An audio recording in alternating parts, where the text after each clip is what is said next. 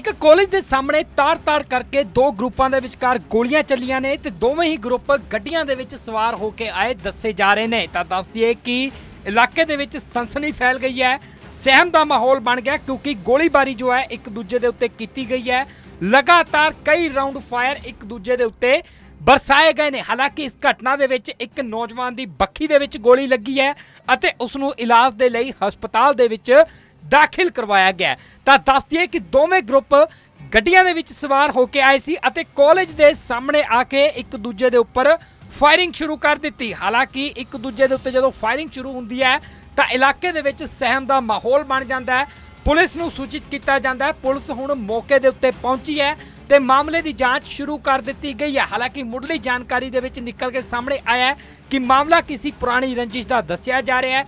ਜਿਵੇਂ ਹੀ ਇਹ ਕਾਲਜ ਦੇ ਸਾਹਮਣੇ ਦੋਵੇਂ ਗਰੁੱਪ ਆਏ, ਇੱਕ ਕਰੋਲਾ ਗੱਡੀ ਦੇ ਵਿੱਚ ਸਵਾਰ ਸੀ ਅਤੇ ਇੱਕ ਸਕੋਰਪੀਓ ਗੱਡੀ ਦੇ ਵਿੱਚ ਸਵਾਰ ਸੀ। ਤਾਂ ਕਈ ਨੌਜਵਾਨ ਇਸ ਗੱਡੀ ਦੇ ਵਿੱਚ ਸਵਾਰ ਸੀ ਤੇ ਇੱਕ ਦੂਜੇ ਦੇ ਉੱਤੇ ਗੋਲੀਆਂ ਚਲਾ ਦਿੱਤੀਆਂ। ਪੁਰਾਣੀ ਰੰਜਿਸ਼ ਨੂੰ ਲੈ ਕੇ ਇੱਕ ਦੂਜੇ ਦੇ ਖੂਨ ਦੇ ਪਿਆਸੇ ਹੋਏ ਨੇ। ਤਾਂ ਖਬਰ ਤਲਵੰਡੀ ਸਾਬੋ ਤੋਂ ਸਾਹਮਣੇ ਆਈ ਹੈ, ਜਿੱਥੇ ਕਿ ਇੱਕ ਕਾਲਜ ਦੇ ਸਾਹਮਣੇ ਤਾੜ-ਤਾੜ ਗੋਲੀਆਂ ਚੱਲੀਆਂ ਨੇ। ਇੱਕ ਨੌਜਵਾਨ ਦੀ ਬੱਖੀ ਦੇ ਵਿੱਚ ਕਈ ਗੋਲੀਆਂ ਵੱਜੀਆਂ ਨੇ ਤੇ ਉਸ ਨੂੰ ਇਲਾਜ ਦੇ ਲਈ ਹਸਪਤਾਲ ਦੇ ਵਿੱਚ ਦਾਖਲ ਕਰਵਾਇਆ ਗਿਆ। ਤਾਂ ਮੌਕੇ ਦੀਆਂ ਇਹ ਤਸਵੀਰਾਂ ਸਾਹਮਣੇ ਆਈਆਂ ਨੇ।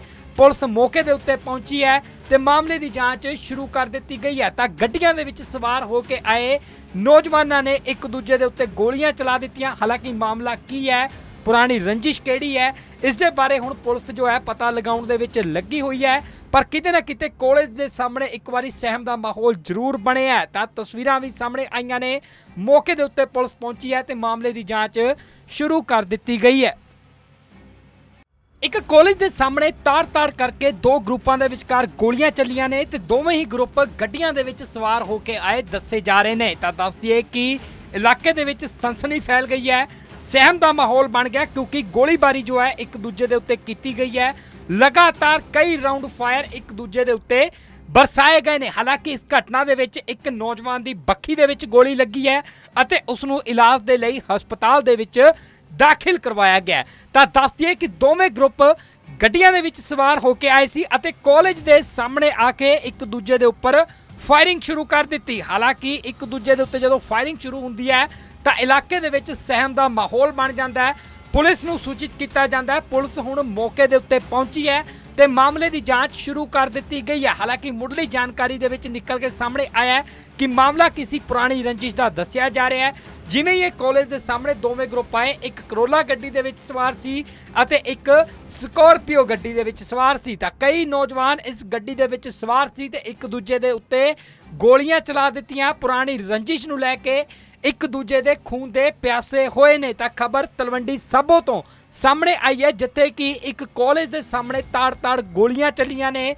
ਇੱਕ ਨੌਜਵਾਨ ਦੀ ਬੱਖੀ ਦੇ ਵਿੱਚ ਕਈ ਗੋਲੀਆਂ ਵੱਜੀਆਂ ਨੇ ਤੇ ਉਸ ਨੂੰ ਇਲਾਜ ਦੇ ਲਈ ਹਸਪਤਾਲ ਦੇ ਵਿੱਚ ਦਾਖਲ ਕਰਵਾਇਆ ਗਿਆ। ਤਾਂ ਮੌਕੇ ਦੀਆਂ ਇਹ ਤਸਵੀਰਾਂ ਸਾਹਮਣੇ ਆਈਆਂ ਨੇ।